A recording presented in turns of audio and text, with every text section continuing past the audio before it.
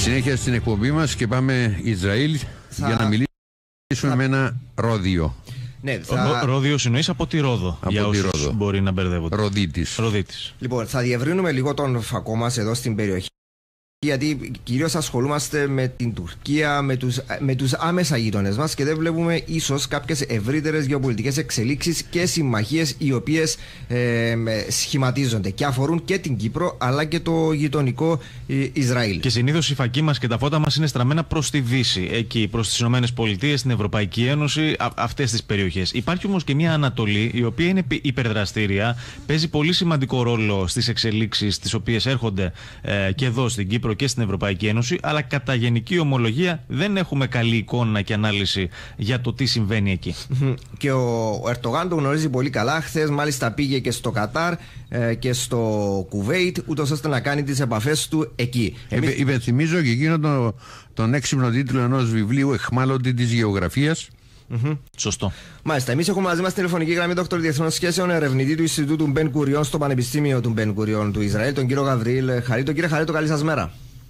Χαίρετε. Καλή σας μέρα. Καλημέρα. Ε, λοιπόν, ο, ε, το, η μεγαλύτερη είδηση των το, προηγούμενους μήνες ήταν η συμφωνία μεταξύ Ισραήλ και Ηνωμένων Αραβικών Εμμυράτων και Μπαχρέιν. Ήταν, εντασσόταν ευρύτερα μέσα στο πλαίσιο σχέδιο ειρήνης του, του Τραμπ και θα ήταν χρήσιμο για τους ακροατές και τις ακροάτριες να εξετάσουμε λίγο τις χώρες του κόλπου, αν μπορούμε να κάνουμε έτσι μια κατηγοριοποίηση για την στάση που κρατούν κυρίως για το Ισραήλ και αυτό αφορά και την Κύπρο, γιατί έχουμε δει και ε, αξιωματούχους από τα Ηνωμένα Αραβικά Εμμυράτα, από το Σαουδική Αραβία στην Κύπρο το προηγούμενο διάστημα. Τα Ηνωμένα Αραβικά Εμμυράτα έκαναν και ασκήσεις με τις αεροπορικές τους δυνάμεις με την ε, πολεμική αεροπορία της μητέρας Ελλάδας.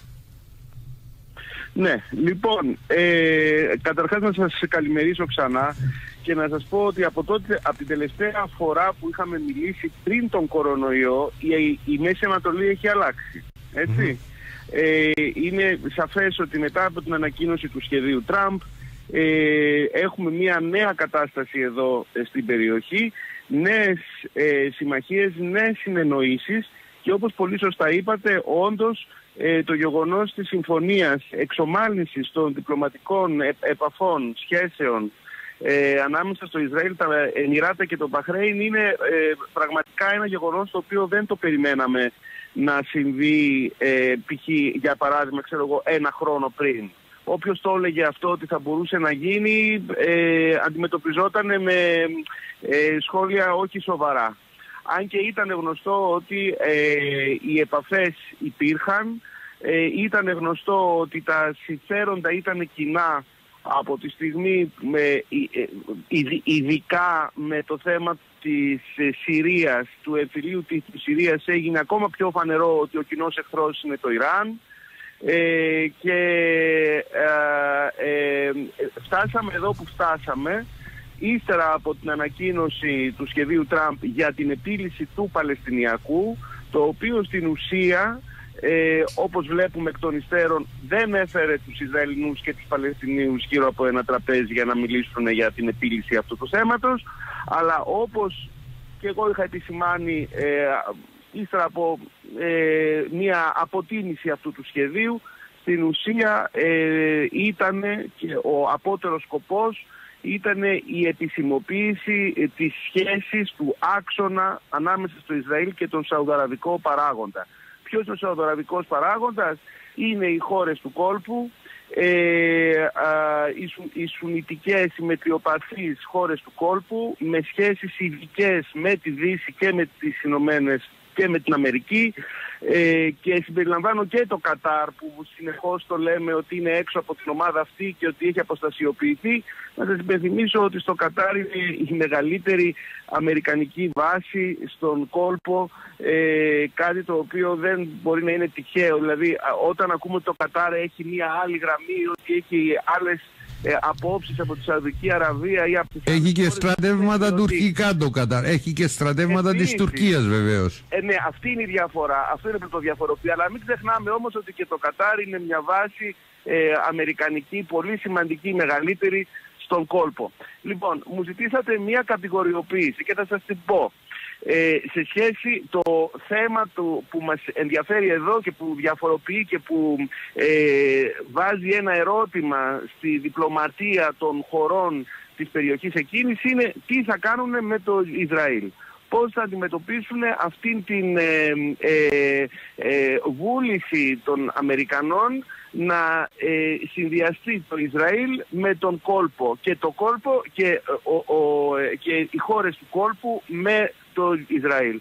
Έχουμε σαφές η ομάδα, η φίλο Ισραηλινή, θα μπορούσαμε να την πούμε, είχε χαρακτηριστεί και από τους, από τους Παλαιστινίους εδώ υποτιμητικά ως τα αραβικά σιωνιστικά κράτη ε, ακούστηκε αυτή η φράση ε, τα Ηνωμένα Εμμυράτα από τη μια πλευρά και το Μπαχρέιν από την άλλη, δύο χώρες οι οποίες αποφάσισαν να θέσουν σε δεύτερη μοίρα το Παλαιστινιακό θέμα ε, και σε πρώτη μοίρα τα συμφέροντά τους και φυσικά τον κοινό κίνδυνο που αισθάνονται ε, το Ιράν. Ε, έτσι λοιπόν ε, ομαλοποιήθηκαν οι σχέσεις των τριών αυτών χωρών. Άρα ουσιαστικά ε, συσπηρώθηκαν γύρω από τον κοινό εχθρό. Αυτό Γίνονται είναι. και συζητήσεις για ενεργειακές συνεργασίες μάθαμε και διαβάζουμε. Ε, ενεργειακή συνεργασία ναι, ε, αλλά και οικονομική συνεργασία. η, το Ισραήλ έχει αναπτύξει σχέσεις ειρήνης με την Αίγυπτο και με την Ιορδανία. Αυτό όμως το οποίο δεν έχει αναπτύξει ούτε η Αίγυπτος ούτε η Ορδανία με το Ισραήλ και το αντίθετο είναι οι κοινωνίες, οι άνθρωποι να, είναι, να βρεθούν και να συνεννοηθούν ε, των τριών αυτών χωρών. Μάλιστα. Υπάρχει μεγάλη κοινωνική διαφορά. Η διαφορά με την ειρήνη που καλλιεργείται ανάμεσα στο Ισραήλ, τα Εμμυράτα και το, και το, και το Μπαχρέιν θα φέρει και τον ιδιωτικό τομέα μαζί. Μάλιστα. Αφήνω λοιπόν αυτό το κεφάλαιο το είδαμε τη μία ομάδα. Η άλλη ομάδα είναι το ΟΜΑΝ, ε, μια ουδέτερη χώρα, ε, είναι η, Ελβετία ας πούμε της περιοχής, δεν θέλει να λάβει θέση στην, ε, ε, στον ανταγωνισμό του Ιράν με τη Σαουδική πλευρά και απέστειλε τον πρέσβη της όταν ανακοινώθηκε το σχέδιο Τραμπ, που σημαίνει ότι ήταν μια ε, ε, ένδειξη καλής θέλησης.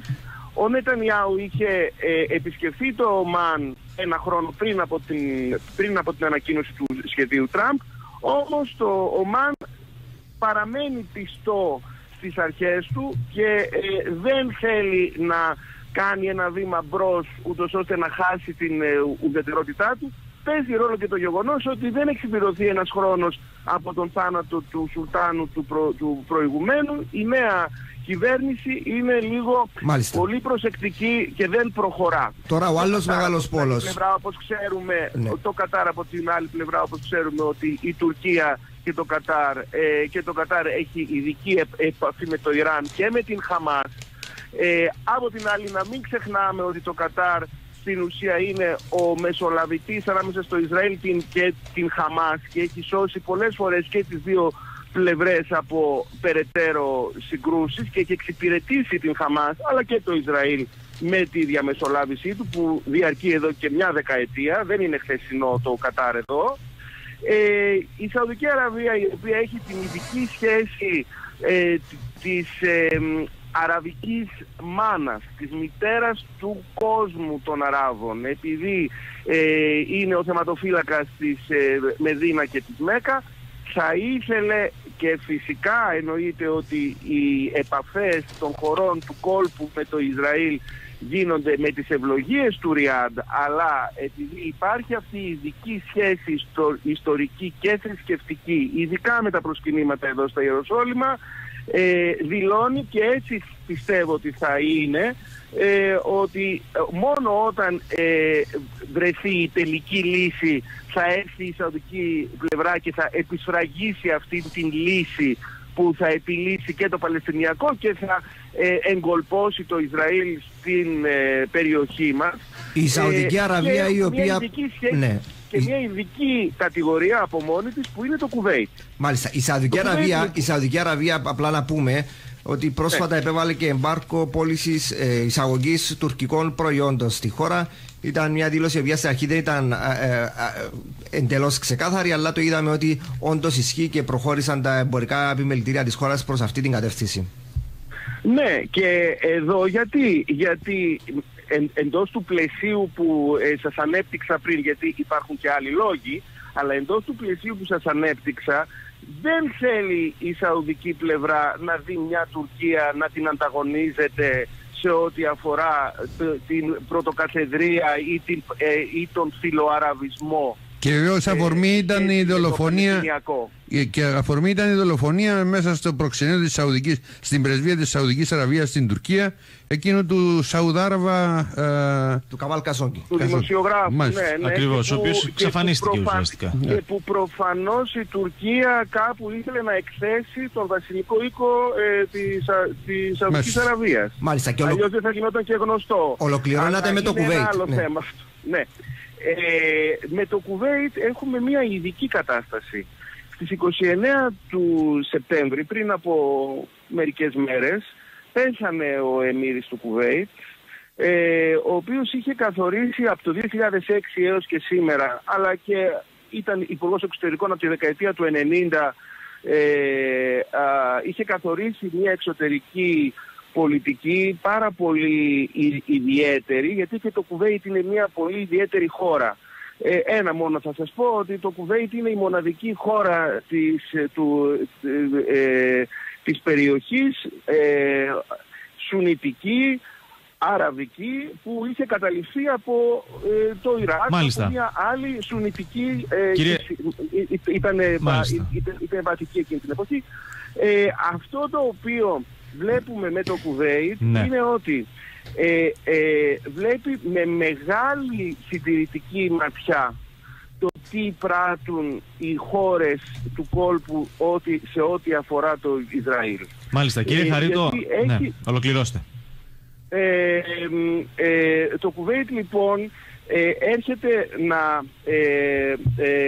καθορίσει με τη νέα ηγεσία του πώς θα αλλάξει ή δεν θα αλλάξει αυτή την θεώρησή του σε ό,τι αφορά την συντηρητική ματιά που διατηρεί ε, σε σχέση με τον κόλπο και τις σχέσεις του με το Ισραήλ. Και μιας και μιλάμε, για, και, και μιας και μιλάμε για ηγεσίες κύριε Χαρίτο. Κύριε Μιχάλαρε. Ολοκληρώστε κύριε Χαρίτο. Ναι, η επίσκεψη του ε, Προέδρου της Τουρκίας στο Κουβέιτ επισήμως είχε, την, ε, είχε το χαρακτήρα να συλληπιθεί για τον θάνατο του Εμμύρη. Και αυτό Δηλαδή ότι πήγε στο Κουβέιτ, είχε συλληπιθεί και έφυγε. Αυτό βεβαίως ε, ε, ε αντιλαμβάνεσαι ότι δεν είναι έτσι. Ε, θέλει να δει εάν τελικά το Κουβέιτ θα συνταχθεί με την ομάδα του Κατάρ που είναι φιλική προς τα τουρκικά συμφέροντα ή θα συνταχθεί με την ομάδα των Εμμυράτων και του Μπαχρέιν, κάτι το οποίο θα ήταν πολύ περίεργο έτσι και το δούμε, ή εάν θα διατηρήσει αυτή την ουδετερότητα που Μάλιστα, διατηρεί το ΟΜΑΝ εδώ και χρόνια. Αυτό θα το δούμε όμως μετά από τις εκλογές του, Νοε, του Νοεμβρίου στην ε, Αμερική. Μάλιστα. Και εδώ θέλαμε να σας φέρουμε ε, κύριε Χαρίτο για το τέλος, επειδή μας πιέζει αρκετά και ο χρόνος, εσείς που ναι. έχετε και ιδία ανάποψη, ε, το Ισραήλ αλλά και ο λαός του Ισραήλ, ποιον θέλουν, ποιον προκρίνουν και επιθυμούν για πρόεδρο των Ηνωμένων Πολιτειών; Τον Ντόναλτ Τραμπ να συνεχίσει ή τον Τζο Μπάιντεν να αλλάξει κάπως την πολιτική; Κοιτάξτε, ε, όποιος υποστηρίζει τον Νετανιάου που ε, είναι και μεγάλη μερίδα του κόσμου που τον υποστηρίζει και όποιος ανήκει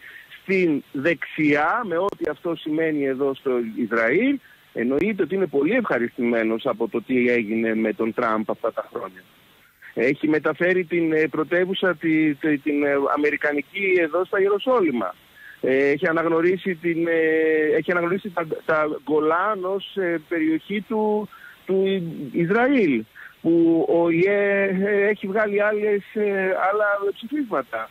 Ε, ε, το σχέδιο Τραμπ ε, εδώ θεωρείται ως το πιο φιλοϊσραηλινό. Έχω μερικές επιφυλάξεις γι' αυτό, αλλά θεωρείται ε, ότι ήταν μια φιλοϊσραηλινή κίνηση. Υπάρχει κάποια μερίδα κόσμου ή πολιτικών, κύριε Χαρίτο, που επιθυμεί. Ο αγαπάει τον Τραμπ. Και ένα τελευταίο γιατί έχει και ναι, ενδιαφέρον. Τον αντίπαλό του. Ξέρετε ότι στο Ισραήλ είναι η μοναδική χώρα που έχει ονομάσει έχει ε, ε, ε, ονομάσει έναν οικισμό της ως ύψωμα Τραμπ. Αυτό νομίζω ότι τα λέει Μάλιστα, όλα. Σαφές. Ευχαριστούμε πολύ κύριε Χαριστό. Να είστε καλά, να είστε καλά. Σας ευχαριστώ, να είστε καλά. Τι άλλο, διαφωνική μαζαμή αμοχωστιανός του λόγου.